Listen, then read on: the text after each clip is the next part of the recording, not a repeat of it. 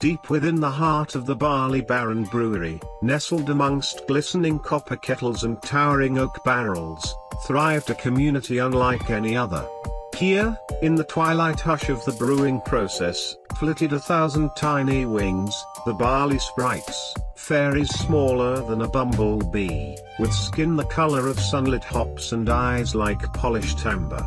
Pip, the chief barley sprite, perched on the rim of a fermenting vat, his gossamer wings shimmering.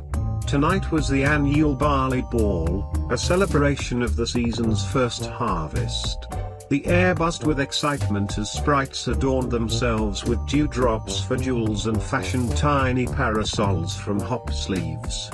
The festivities began with a toast, Pip raising a miniature acorn cup brimming with the choicest nectar, a single drop of the Baron's finest ale, aged to perfection. Laughter tinkled like wind chimes as they danced on moonbeams, their tiny voices weaving melodies amidst the gurgling fermenters. But not all was merriment.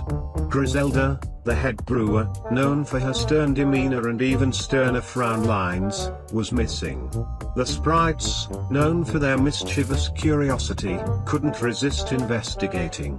They flitted past stacks of barley sacks, their whispers echoing in the vastness of the brewery. They found Griselda slumped on a stool, tears glinting in her eyes.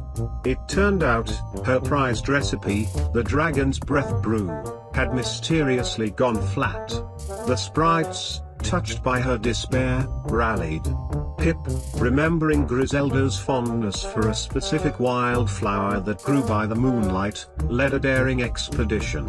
They braved the night air, dodging hungry spiders and thirsty bats, to retrieve a single, perfect bloom.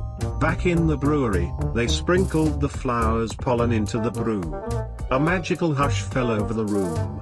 The ale began to bubble, a soft glow emanating from the vat. When the glow subsided, they took a tentative sip. The taste was like sunshine and laughter, with a hint of dragon's fire, a perfect balance of sweet and spicy.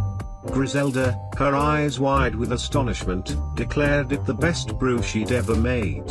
The barley ball resumed, filled with renewed joy and gratitude. As the moon dipped below the horizon, Pip, perched on Griselda's shoulder, winked.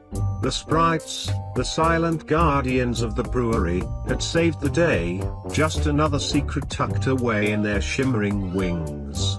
From then on, Griselda always left a tiny drop of her best brew for the sprites, a silent thank you for the magic they brought to the Barley Baron Brewery.